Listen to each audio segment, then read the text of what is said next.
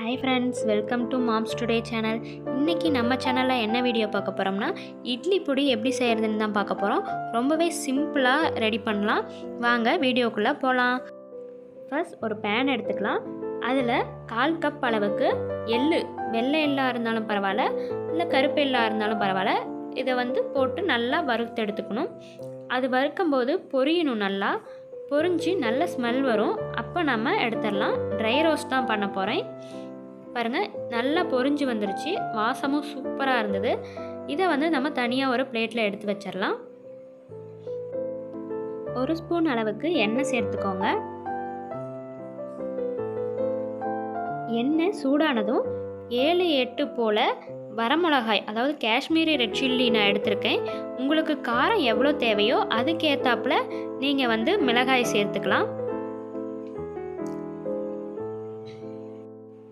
பாருங்க மிளகாய் நல்லா வறுபட்டுருச்சு. இப்போ ஒரு கைப்பிடி அளவுக்கு கருவேப்பிலை சேர்த்துக்கோங்க. நல்லா வறுபட்டு வரணும். அதனால் நல்லா ரோஸ்ட் பண்ணிக்கோங்க. இந்த பொடி நம்ம தோசைக்கு இட்லிக்கு இதுக்கெல்லாம் நல்லெண்ணெய் நெய் ஊற்றி சாப்பிட்டோம்னா ரொம்பவே டேஸ்ட்டாக இருக்கும். இப்போது நல்லா வறுபட்டுருச்சு. இதை ஒரு பிளேட்டில் எடுத்து வச்சிடலாம். திரும்ப ஒரு பேனில் ஆயில் விட்டுக்கோங்க.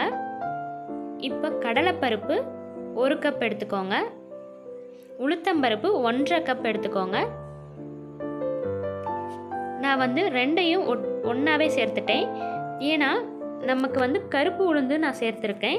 கருப்பு உளுந்து சேர்க்கறனால அது வறுபடுறது நமக்கு தெரியாது. அதனால் கடலைப்பருப்போடு நம்ம போட்டோம்னா அந்த கடலைப்பருப்பு வறுபடுறது நமக்கு தெரியும். அதுலேயே உளுத்தம்பருப்பும் நல்லா வறுபட்டு வந்துடும். அதனால் ரெண்டையும் சேர்த்து வறுத்துக்கிறேன். கருப்பு உளுந்து பார்த்திங்கன்னா ரொம்பவே சத்தானது. அதனால் நான் கருப்பு உளுந்து எடுத்துக்கிறேன். மாம்ஸ் டுடே சேனலை சப்ஸ்கிரைப் பண்ணாமல் இருந்தீங்கன்னா சப்ஸ்கிரைப் பண்ணிக்கோங்க. பக்கத்தில் இருக்க பெல் பட்டனை கிளிக் பண்ணிக்கோங்க. ஆளுங்கிற ஆப்ஷனை செட் பண்ணிக்கோங்க. அப்போ தான் நான் போடுற வீடியோஸ் எல்லாம் உங்களுக்கு நோட்டிஃபிகேஷனில் வரும். இந்த பொடி வந்து பேச்சுலர்ஸ் செஞ்சு வச்சுக்கிட்டா ரொம்பவே ஈஸியாக நம்ம சட்னி ரெடி பண்ணுறதுக்குள்ள இதுக்கு நல்லெண்ணெயோ நெய்யோ சேர்த்து இட்லிக்கும் தோசைக்கும் சாப்பிட்டுக்கலாம். ஸோ ரொம்பவே ஈஸியான ஒரு ரெசிபி தான் இது. இருபத்தி அஞ்சு நிமிஷத்தில் நம்ம இதை ரெடி பண்ணிடலாம். ரெடி பண்ணி ஒரு கண்டெய்னரில் நம்ம போட்டு வச்சிட்டோம்னா ரொம் ஒரு மாதத்துக்கு மேலே இது வந்து இருக்கும். பாருங்கள் நல்ல கோல்டன் ப்ரௌன் கலரில் நமக்கு வந்து வறுபட்டு வரணும்.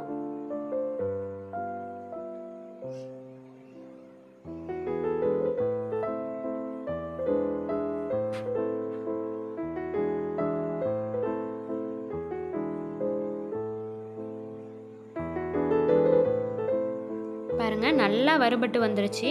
இப்போ இதை இன்னொரு பிளேட்டில் நம்ம எடுத்து வச்சிடலாம். இப்போ எல்லாத்தையும் நல்லா ஆற விடலாம். ஆற விட்ட பிறகு பாருங்கள் இந்த கருவேப்பிலை எடுத்து காமிக்கிறேன். எவ்வளோ நல்லா வந்து நொறுங்குதுன்னு பாருங்கள் இந்த மாதிரி நல்லா வந்து ஆற விட்டுறணும். இப்போ இதை ஒரு மிக்சி ஜாரில் எடுத்துக்கலாம். மிக்சி ஜாரில் எல்லாத்தையும் நம்ம சேர்த்துக்கலாம்.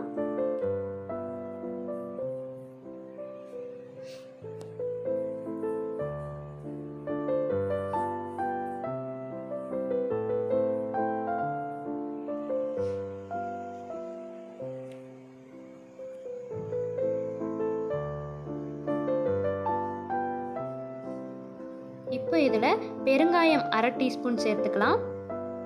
உப்பு அரை டீஸ்பூன் சேர்த்துக்கலாம். மஞ்சத்தூள் கால் டீஸ்பூன் சேர்த்துக்கலாம்.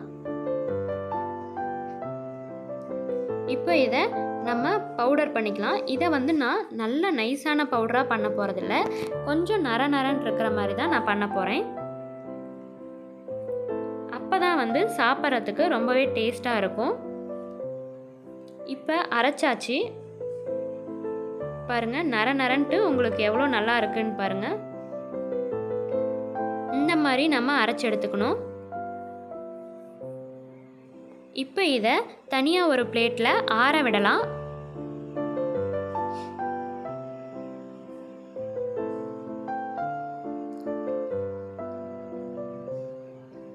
நல்லா ஆற விட்டுக்கலாம். அப்போ அப்போ தான் எந்த ஒரு கெட்டியும் இல்லாமல் இருக்கும்.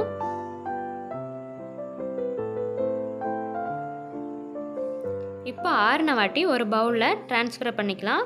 ரொம்பவே ஈஸியான ரொம்பவே டேஸ்டான சூப்பரான இட்லி பொடி ரெடி ஆகிடுச்சு கண்டிப்பாக இதை வீட்டில் ட்ரை பண்ணி பாருங்கள் இந்த வீடியோ உங்களுக்கு பிடிச்சிருந்ததுன்னா லைக் பண்ணுங்கள் ஷேர் பண்ணுங்கள் கமெண்ட் பண்ணுங்கள் அண்ட் சப்ஸ்கிரைப் பண்ண மறந்துடாதீங்க.